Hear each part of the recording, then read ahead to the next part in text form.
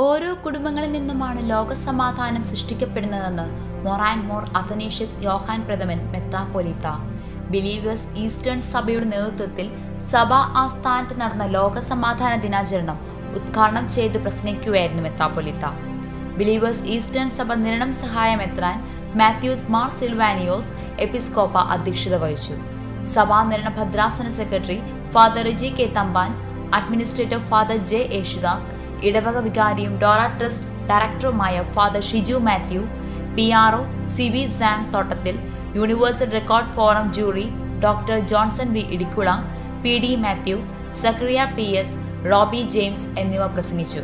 India Nepal Colombo എന്നീ രാജ്യങ്ങളിലെ മുപ്പത്തിയേഴ് ഭദ്രാസനങ്ങളിൽ നിന്നുമെത്തിയ ബ്രീഡ് ഓഫ് ഹോപ്പിന്റെ നൂറ്റി എൺപത് പ്രതിനിധികൾ മെത്രാപ്പൊലീത്തയുടെ മാതൃ ഇടവകയായ സെന്റ് തോമസ് ബിലീവേഴ്സ് ഈസ്റ്റേൺ സഭ നിരണം ഇടവകയിൽ ലോകസമാധാനത്തിനായി പ്രത്യേക സമൂഹ പ്രാർത്ഥന നടത്തി.